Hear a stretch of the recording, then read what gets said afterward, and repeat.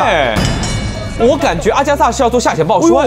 二零二零年十二月十八日，VAN 王者碰撞中，谢维对战柬埔寨高手陈罗塞纳。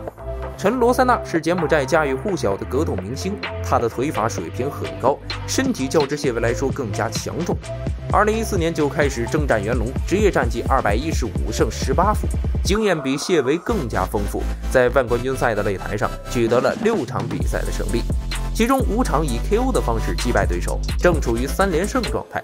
谢维面对经验、战斗风格都相似的对手，又该如何应对呢？一起来看看精彩的比赛吧。看在龙边，这感觉架势像在跳贴面舞。长啊，从一五年参赛到现在，漂亮。刚才这样撞得不轻。对啊，罗谢维比赛说肯定是用自己最擅长的技术来打的。是腿法进攻，这回合用的确实比较多。早他起身和罗塞纳进行对攻，谢维气势不变，猛冲。漂亮漂亮。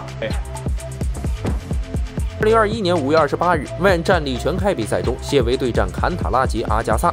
卡纳达人阿加萨，一位来自印度的猛男，职业战绩十一胜二负，身体十分强壮，无论是灵活性还是地面技术都非常全面，在 SFL、Brave CF 等赛事中都有着不俗的表现。尽管这是阿加萨的元龙首秀，但他心中早已定下了目标，欲要在第一回合就降服谢维，并且在这个级别横扫所有的竞争者，拿下世界冠军金腰带。他狂妄的资本来源于强悍的实力，曾一口气打出十连胜的记录，有五场比赛是首回合终结获胜，包括四次降服和一次 TKO，而且两次在比赛中击败了罗山梅南，最短一次只用了八十一秒就降服了梅南。在南亚本级别一百六十六名拳手的榜单中，阿加萨排名第三。这场比赛也是典型的站立系和柔摔系的对抗。面对来势汹汹的阿加萨，谢维又该如何应对呢？一起来看看精彩的比赛吧。所以这场比赛的话，阿加萨要更加主动的进入地面，而谢维的话要防止对方做一些主动的抱摔。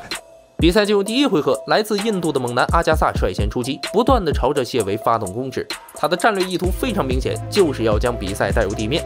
他不断寻找机会，先是试图抱单腿摔倒谢维，但是被谢维成功防住了。阿加萨数次尝试向下攻击谢维的腿部，哦，厉害厉害！要真得说阿加萨的一个摔跤能力是很棒啊，每个人腿的维度上面都差很大，真的是厉害啊！是真的是厉害。但是防摔上面谢维也起身很快，会在瞬间当中去反应这个交感，是，这个是我们说柔术选手当中的很重要的一环交感。谢维明显在赛前做足了准备，在不断发出攻击的同时，凭借灵活的反应化解了阿加萨大部分地面攻击。漂亮漂亮！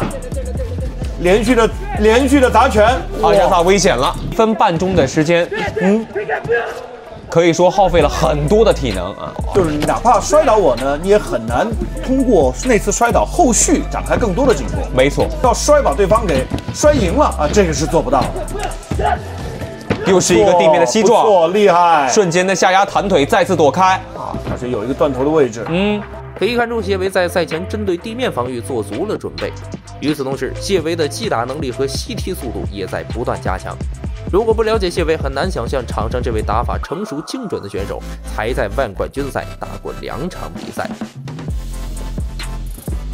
接下来的下一回合，谢维可以考虑。比赛来到了第二回合，双方依然在僵持。相比于谢维，阿加萨的打法太过单一，除了抱摔试图进入地面以外，几乎没有出手直拳击打在阿加萨的身上，以及犀利的肘击攻势，打得阿加萨狼狈不堪。是要寻找机会，对他来说，你看，不训练下来的话，对他打这场比赛是很有帮助的。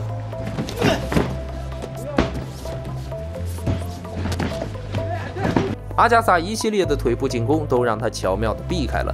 阿加萨将谢维推到笼边时，他终于得到短暂的喘息机会，打出几拳有说服力的进攻，这下的话能够让第二回合让。当两人被分开时，谢维则在第二回合最后时刻爆发，以紧住选择弃赛，谢维 TKO 获得胜利。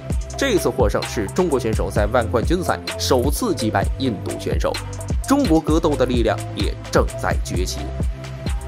二零二一年八月二十七日，万驰骋沙场三中，谢维迎战韩国金大焕。金大焕绰号不倒翁，而他这一绰号源自于他超强的抗击打能力。在其长达十三年的综合格斗职业生涯中，从未被人以 KO 的方式终结过。其职业战绩十五胜七负一平，更是跆拳道黑带四段。值得一提的是，在此之前，金大焕曾三次和中国选手交手，第二局降服中国选手滕立格，点数战胜赵志康，首局 TKO 阿一登，对上中国选手韩国人还没有输过。对于目前势头正盛的谢维来说，金大焕无疑是职业生涯当中面临的最危险的对手之一。谢维肩负着为同胞复仇的重任，他又会如何应对这位韩国劲敌呢？一起来看看精彩的比赛吧。比赛来到第二回合，谢维气势不减，依旧还是选择主动进攻。金大焕在经过第一回合的交锋后，有些展开地面技的较量。